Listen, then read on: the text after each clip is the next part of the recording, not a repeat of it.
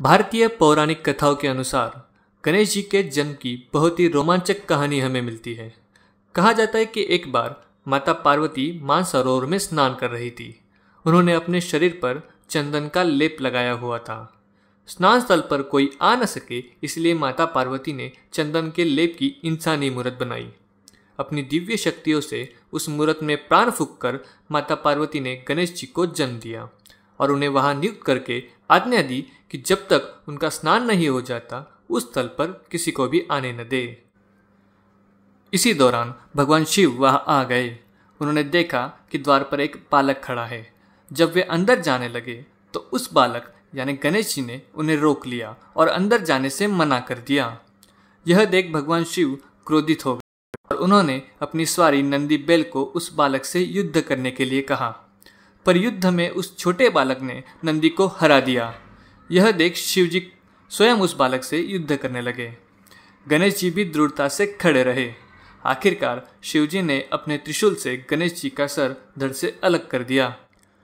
शिव के इस का जब माता पार्वती को पता चलता है तो वे विलाप और क्रोध से विनाश का सृजन करती है। माता पार्वती के इस विनाशकारी रौद्र रूप को देखकर शिव और सभी देवतागण चिंतित हो जाते हैं।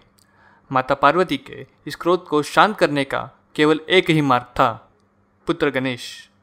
सभी देवतागण शिव से प्रार्थना करते हैं कि वे गणेश जी को पुनः जीवन दान दे दे।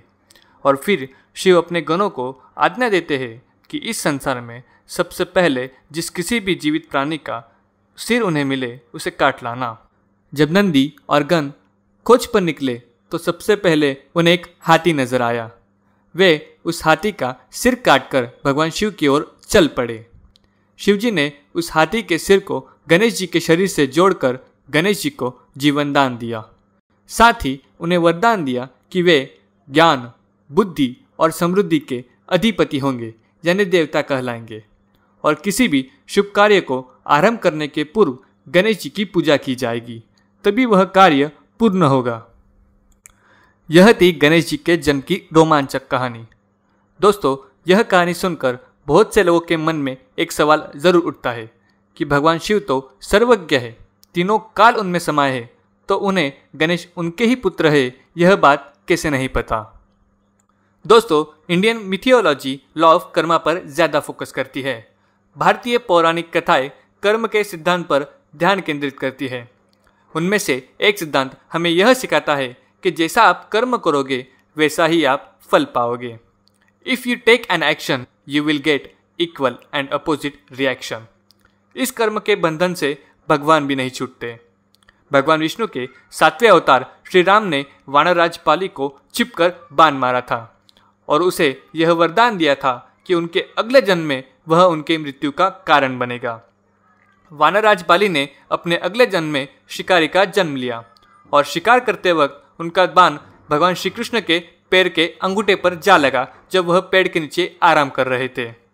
इस तरह भगवान विष्णु को भी अपने अवतार जन्म में किए गए कर्म का फल चुकाना पड़ा। उसी तरह भगवान शिव के एक कार्य के फलस्वरूप यह घटना घटी। ब्रह्मपुराण के अनुसार एक बार भगवान शिव ने गुस्से में आकर अपने त्रिशूल से सूर्यदेव पर आक्रमण किया। यह देख सूर्यदेव के पिता क्रोधित हो गए और उन्होंने भगवान शिव को श्राप दिया कि जिस तरह शिवजी ने अपने त्रिशूल से सूर्यदेव के शरीर को हानि पहुंचाई, उसी तरह वे त्रिशूल से अपने ही पुत्र के सिर को धड़ से अलग कर देंगे। दोस्तों, इस संसार में जो कुछ भी घटित हो रहा है और होने वाला है, वह पहले से ही निश्चित है। उसी तरह यह घटना भी पहले से ही निश्चित ही थी। इस घटना को घटित करने के लिए निमित्त मात्र सूर्यदेव के पिता बने। अगर आपको हमारा वीडियो पसंद आया हो तो लाइक करें और कमेंट करके ज़रूर बताइए। और हाँ सब्सक्राइब करना मत भूलना। अगर आप सब्सक्राइब नहीं करोगे तो हम आपको ऐसी रोचक कहानियाँ कैसे बता पाएँगे? सो गाइस सब्सक्राइब करो।